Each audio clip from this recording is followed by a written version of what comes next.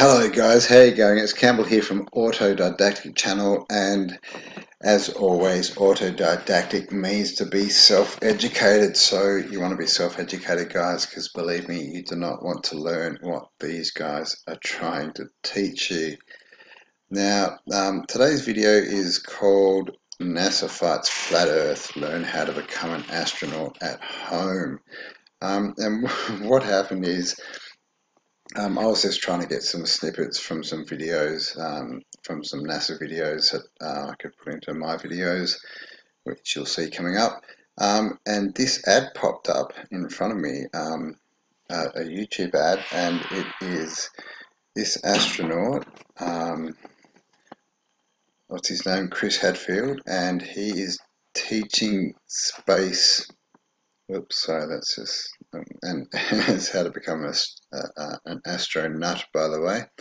But he's teaching space exploration at home, and as you can see, he's very intelligent because he's got all these pictures of spaceships and arrows and stuff. I have no idea what this is. So let's hear what uh, is it Chris? Chris has to say. The rocket equation, it's a beautiful thing. No astronaut launches for space with their fingers crossed. That's not how we deal with That's not how we cross our fingers, Chris. Crisscross. Um, he's crossing two sets of fingers, guys. That's just weird. Risk. What I learned from 21 years as an astronaut is that the more you know, the less you fear.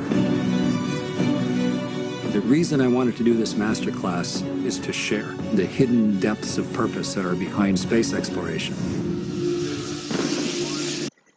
When the clock hits zero, start focusing in, thinking of nothing else but the moment that you're in. Study every system on a spaceship and then boil it down to what I call a one pager. You've got to be able to solve your problems in one breath. You have to push your lungs forward drag of the atmosphere. Crushed into your chair, you're like a leaf in a hurricane. The reason is 1 half rho v squared s. And that's the magic, guys. That is a magician's formula, and you'll see why. 16 times the speed of sound. As you accelerate harder and harder, the light blue Florida sky starts to get darker and darker, and then suddenly black. And the engine shut off, and you're weightless.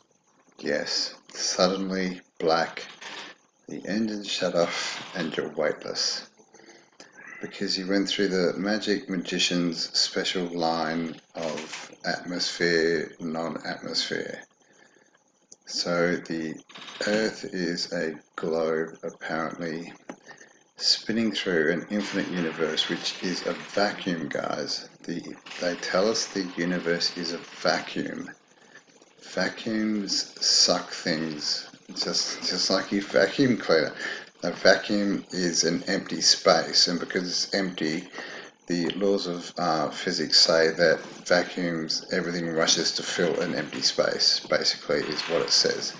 Um, and so, how, how can, and we're told we're just a tiny little insignificant planet, a little dot in, you know, the, the arse end of some Milky Way galaxy, um, but, but, but apparently we can magically keep our atmosphere on against the enormity of the vacuum of the universe. But not just that, there is a magical like line that you can just go through. And on one side, you're in the atmosphere, on the other side, you're not.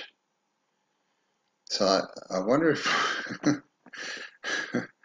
As you go through it, does that mean like the front end of the rocket is in the universe and weightless while the back end is not? Um, I, I, don't know.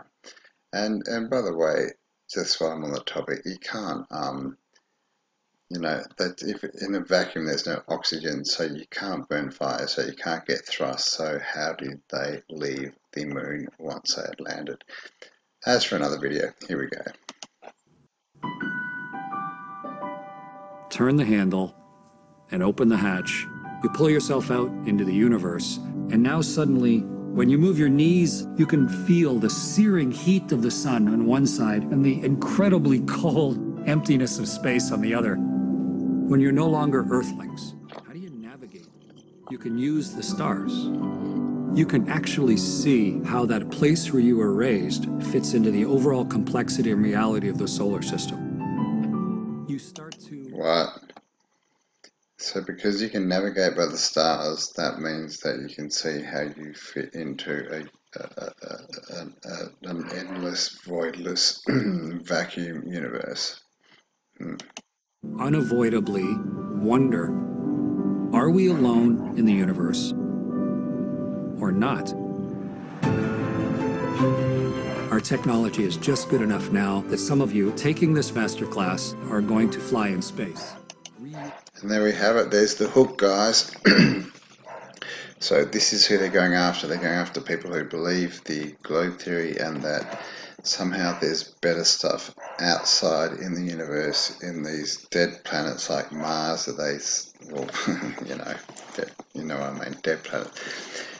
As far as they tell us, Mars is a dead planet, but but but but people think that it's a good option to go and try and settle Mars when we have a perfectly, actually more than perfectly, you know, amazing planet that we're already on that is designed for human life already. Um, it's, uh, it's just ridiculousness. Usable rocket ships give us access to explore like we've never had before.